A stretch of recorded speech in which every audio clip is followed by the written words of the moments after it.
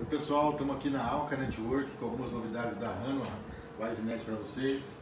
Temos câmeras Dome fixas em varifocal, Bullet fixa em varifocal, todas 4K, Speed Dome 4K, 12 megapixels, todas com H265 e Widestream da WiseNet, WDR Pro 120dB e lente PX.